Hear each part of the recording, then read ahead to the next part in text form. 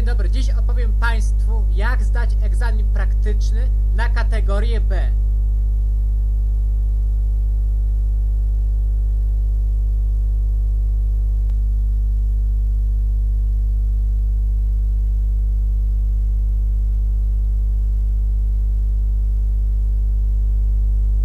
Na początku mamy zatokę autobusową.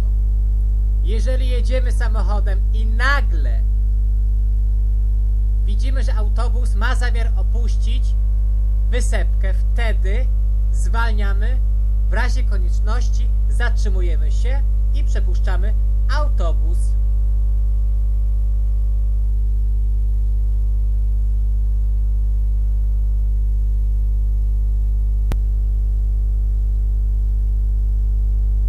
Następnie mamy przejście dla pieszych.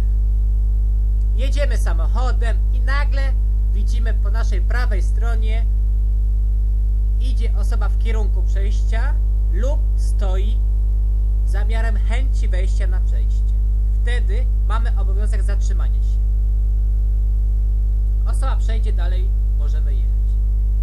Jeżeli jedziemy samochodem i widzimy po naszej lewej stronie chęć wejścia pieszego na pasy, wtedy nie mamy obowiązku zatrzymywania się.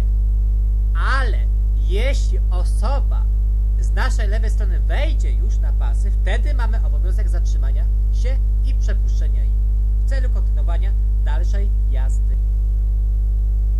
Dalej mamy parkowanie. Musimy pa pamiętać, że podczas parkowania podstawowe rzeczy, aby poprawnie wykonać zadanie jest użycie dwukrotnie kierunkowskazu. Pierwszy raz używamy go wtedy, kiedy wjeżdżamy na miejsce parkingowe, a drugi raz to wtedy, kiedy je opuszczamy. Musimy również też pamiętać, kiedy cofamy do tyłu, żeby patrzeć się przez prawy bark. Wtedy daje to nam stuprocentową pewność, że nikogo nie przejedziemy, ani egzaminator nie zastosuje hamowania awaryjnego w celu przerwania egzaminu. Jak widać, egzaminator mówi pojęcie proszę po mojej prawej stronie zaparkować. Używam prawego kierunkowskazu. Instruktor, egzaminator mówi proszę wyjechać w lewą stronę, wtedy używamy lewego kierunkowskazu. Jeśli y, parking jest po lewej stronie, używamy lewego kierunkowskazu. Wtedy, kiedy mamy zamiar wyjechać na prawo, używamy prawego kierunkowskazu. Ćwiczenie zostanie na pewno zaliczone. Następna sytuacja, jedna z przebiegu egzaminów jest jazda drogami jednokierunkowymi. Jeśli jed, droga jednokierunkowa ma wyznaczone pasy ruchu, wtedy nie ma żadnego problemu, bo zmieniamy tylko pas w celu y, skręcenia w lewo lub w prawo. Ale jeśli na drodze jednokierunkowej nie ma pasów, może nam się pomylić i wtedy możemy skręcić z, na przykład z prawej krawędzi drogi na lewo. A to jest niedozwolone, gdyż dwukrotne skręcenie właśnie z tej krawędzi spowoduje przerwanie egzaminu.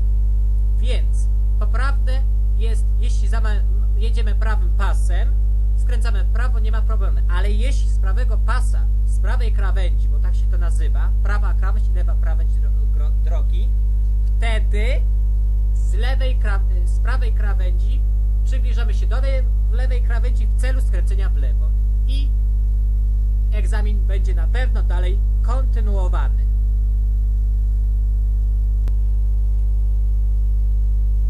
Następnym krokiem może być sygnalizacja świetna warunkowa. Jest to strzałka narysowana, jest to sygnalizacja świetna warunkowa, która zezwala nam przejechanie za tą sygnalizację, jeśli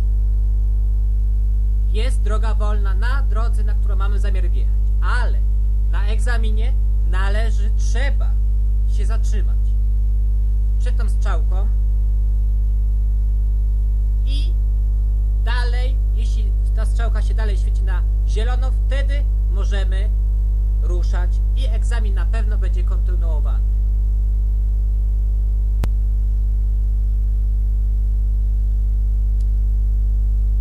Teraz stop. Jeśli jedziemy samochodem i zdarzy nam się sygnalizacja, jeśli znajdzie, zdarzy nam się skrzyżowanie i znak stop, wtedy musimy się bezwzględnie zatrzymać. Czy droga jest pusta, czy pełna, musimy się zatrzymać, gdyż ten znak oznacza bezwzględne zatrzymanie się przed linią, tą linią ciągłą. Na skrzyżowaniu wtedy zatrzymujemy się i możemy jechać dalej, jeśli droga jest pusta.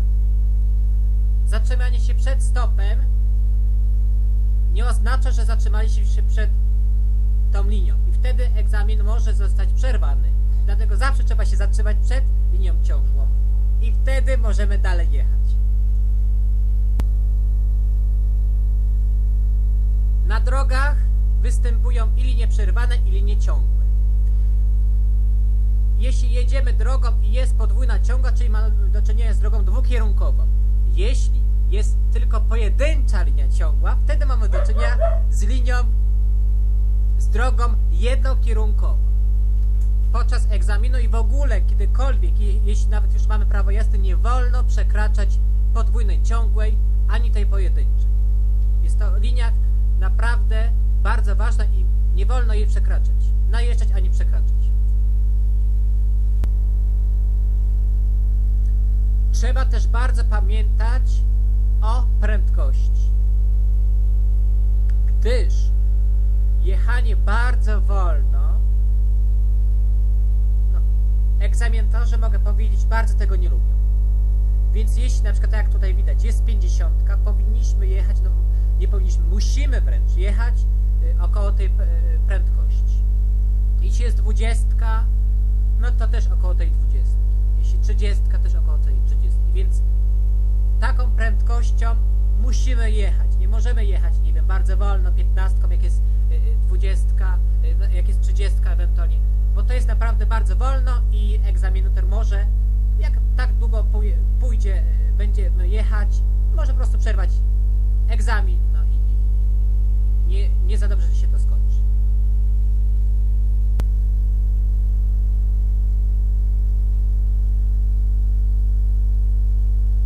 egzaminie może się pojawić też polecenie proszę zawrócić z wykorzystaniem biegu wstecznego. Tak samo jak w parkowaniu należy pamiętać o użyciu dwa, dwóch razy kierunkowskazu. Pierwszy raz wtedy, kiedy skręcamy w drogę lub miejsce, które posłuży nam do zawrócenia i wtedy, kiedy już robimy tą, ten, tą drugą część, czyli cofamy. Tak samo jak egzaminator może powiedzieć, proszę na prawo, na prawo, potem wyjeżdżamy na lewo, na lewo, kierunkowskaz i tak samo jak to. I też trzeba pamiętać, że nawet jeśli jest to droga czy coś, czy nawet teren pusty, jakiś parking czy coś, trzeba pamiętać o tym, żeby patrzeć się przez prawy ramię, bo wtedy mamy na pewno 100% pewność, że nikt nam nie wyskoczy i będzie egzamin dalej mógł zostać kontynuowany.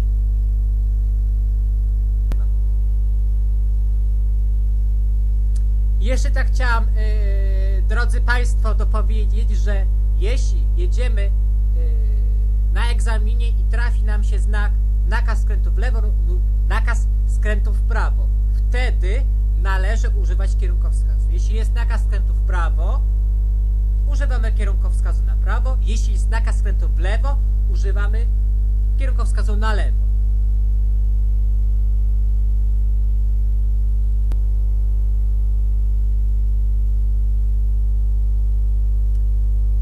I to, yy, proszę Państwa, na wszystko, to wszystko.